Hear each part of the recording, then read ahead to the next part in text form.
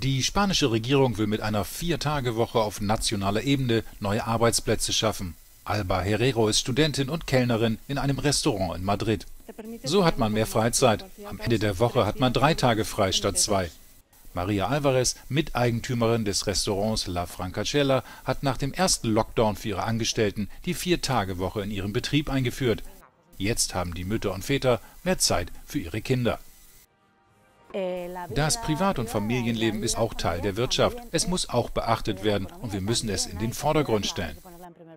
Durch die Umstrukturierung der Arbeitszeiten und die Einführung einfacher technischer Verbesserungen, wie zum Beispiel die Entgegennahme von Bestellungen über WhatsApp, erledigt Alba ihre Arbeit in kürzerer Zeit bei gleichem Lohn. Dank unseres selbstgesteckten Ziels, eine Vier-Tage-Arbeitswoche einzuführen, sind wir jetzt ein viel effizienteres Unternehmen. Spanien will die Machbarkeit einer Vier-Tage-Woche auf nationaler Ebene testen. Maspais, die Partei hinter der Initiative, glaubt, dass kürzere Arbeitszeiten neue Arbeitsplätze schaffen können und ein sinnvolleres Leben außerhalb der Arbeit ermöglichen. Dazu Inigo Erellón, Abgeordneter der 2019 gegründeten Partei Maspais. Niemand ist ein freier Mensch, wenn er keine Zeit hat.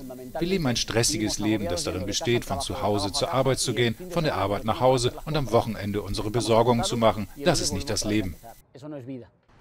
Eine Vier-Tage-Woche könnte auch gut für die Umwelt sein, da sie den wöchentlichen Pendelverkehr der Arbeitnehmer reduziert. Mehr als die Hälfte der spanischen Arbeitnehmer arbeitet mehr als 40 Stunden die Woche. Einige sagen, dass die Regierung zuerst sicherstellen sollte, dass niemand mehr als acht Stunden pro Tag arbeitet, bevor es kürzere Arbeitszeiten gibt.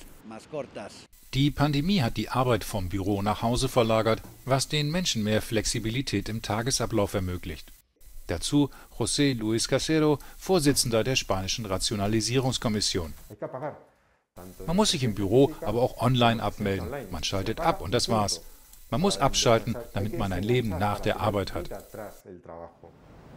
Wenn sich das Pilotprojekt bewährt, könnte Spanien eines der ersten Länder der Welt werden, das eine landesweite Vier-Tage-Woche für Arbeitnehmer einführt.